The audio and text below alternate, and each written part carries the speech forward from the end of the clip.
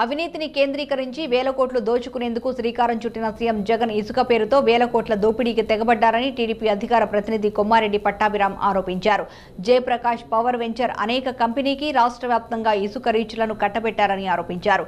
రాష్ట్రంలోని ఇసుక రీచ్లను ఏ విధంగా ఒక కంపెనీకి ఇస్తారని ప్రశ్నించారు. వైసీపీ ఎంపీ అయోధ్యరామరెడ్డి కంపెనీ రాంకీకి ఇచ్చారని అన్నారు. తాము అడిగిన ప్రశ్నలకు ప్రభుత్వ సమాధానం చెప్పకుండా మంత్రి పెద్దిరెడ్డి రామచంద్రారెడ్డి మొహం చాటేసి ఒక ఐఏఎస్ అధికారితో చెప్పించి పేపర్లలో పేజీల అడ్వర్టైజ్మెంట్లు ఇచ్చారని పేర్కొన్నారు.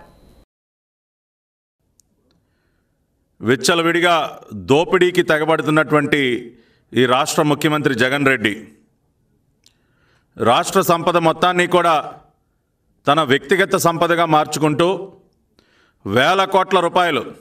అవినీతిని కేంద్రీకరించి వేల కోట్ల రూపాయలు దోపిడీకి శ్రీకారం చుట్టినటువంటి రాష్ట్ర ముఖ్యమంత్రి జగన్ రెడ్డి నేడు ఇంకొక దోపిడీ పథకానికి శ్రీకారం చుట్టిన మాట మనందరికీ తెలుసు. గత రెండు రోజులుగా ఇసుక పేరుతో వేల కోట్ల రూపాయల దోపిడీకి ఏ విధంగా తెగబడతా ఉన్నాడో తన జేబులో ఉన్నటువంటి కంపెనీ ఒక రకంగా అన్ని రకాలుగా క్విట్ ప్రోకో ఒప్పందం ముందుగానే మాట్లాడుకుని జయప్రకాష్ పవర్ వెంచర్స్ అనే ఒక కంపెనీకి రాష్ట్ర వ్యాప్తంగా ఉన్నటువంటి ఇసుక రీచ్లన్నింటినీ కూడా ఏకపక్షంగా ఏ విధంగా కట్టబెట్టాడో కూడా మనం చూసాం. ఈ వ్యవహారంతో ఈ వ్యవహారం అంతా చూసిన తర్వాత రాష్ట్ర ప్రభుత్వాన్ని గట్టిగా నిలదీయటం జరిగింది. రాష్ట్ర ప్రజల పక్షాన బాధ్యత గల ప్రతిపక్ష పార్టీగా మేము కొన్ని ప్రశ్నలు సూటిగా అడిగాం.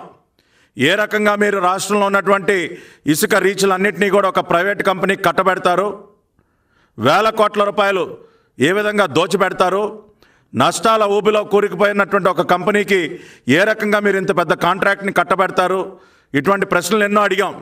అదేవిధంగా మరి వైఎస్ఆర్ కాంగ్రెస్ పార్టీ ఎంపీ అయినటువంటి అయోధ్య రామిరెడ్డికి చెందినటువంటి రామ్కీ గ్రూప్ గ్రూప్లో డైరెక్టర్గా ఉన్నటువంటి గంగాధర శాస్త్రి అనే ఒక వ్యక్తి జయప్రకాష్ పవర్ వెంచర్స్లో గతంలో డైరెక్టర్గా ఉండి నేడు ఈ కిట్ క్విడ్ ప్రోపో వ్యవహారం మొత్తాన్ని కూడా నడిపిన మాట వాస్తవం కాదా అని కూడా గట్టిగా ప్రశ్నించడం జరిగింది. మేము అడిగినటువంటి ఏ ఒక్క ప్రశ్నకి సూటిగా సమాధానం చెప్పకుండా ఈ రోజున సంబంధిత శాఖ మంత్రి పెద్దిరెడ్డి రామచంద్రారెడ్డి కనీసం మీడియా ముందుకొచ్చి సమాధానం చెప్పలేక ముఖం చాటేసి తప్పించుకుని తిరుగుతూ ఇవాళ ఒక ఐఏఎస్ అధికారిని మీడియా ముందు ప్రవేశపెట్టి నిన్నేదో చేసినటువంటి తప్పుని కప్పిపుచ్చుకునే ప్రయత్నం చేశారు. అంతేకాకుండా ఈరోజు పేపర్లు కనుక మనం చూసినట్లయితే ఫుల్ పేజ్ అడ్వర్టైజ్మెంట్లు. చేసిన దోపిడీ చాలక మళ్ళీ వందల కోట్ల రూపాయలు యాడ్ల పేరుతో ప్రజాధనాన్ని వృధా చేయటం. ఈ సాక్షి దినపత్రికకి ఫుల్ పేజ్ యాడ్లు ఇవ్వటానికా?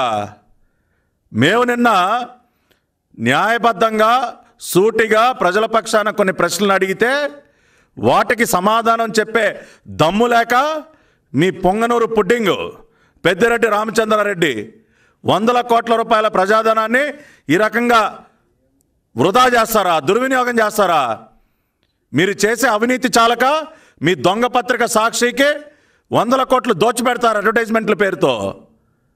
మీకు నిజంగా ధైర్యం ఉంటే తప్పు చేయలేదన్న నమ్మకం కనుక మీకుంటే మీ మంత్రిని రమ్మనండి.